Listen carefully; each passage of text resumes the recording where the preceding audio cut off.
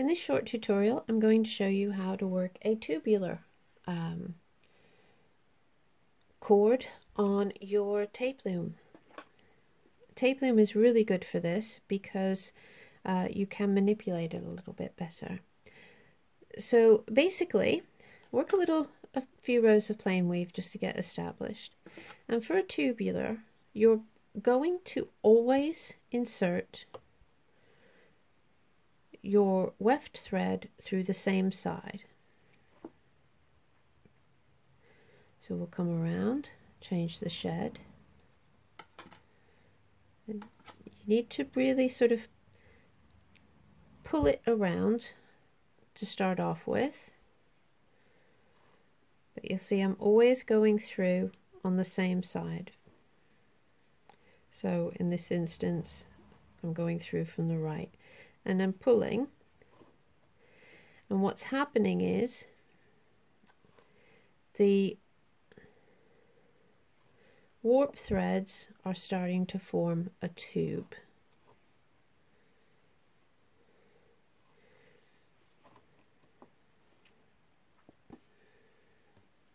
You can actually work some very interesting decorative um, pieces with this because you can alternate between tubular and flat sections as well which is quite nice if you want to do something a little bit uh, less traditional.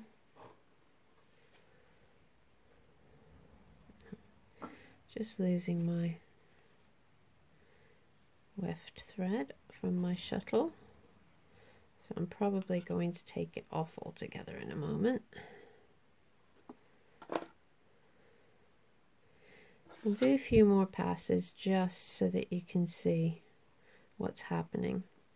But as you work, the piece will twist a little. And that's perfectly ordinary. This is what to expect.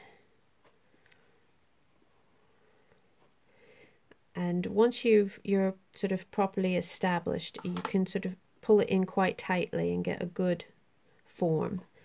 You could in theory also place something um, in the middle of it whilst you're weaving a piece of wire or something so long as you're sure that you get it in the middle. However it might be easier to just insert that afterwards because you do have an opening. So that how your tubular forms. And as I say, it will start to sort of twist. So you'll get a spiral of whatever design that you're working all of the way around. That, that's from the previous video. And it's a really great thing to do um, if you want to use do lacing uh, cords, for instance. Really good and it works great for necklace cords and bracelets and things like that as well.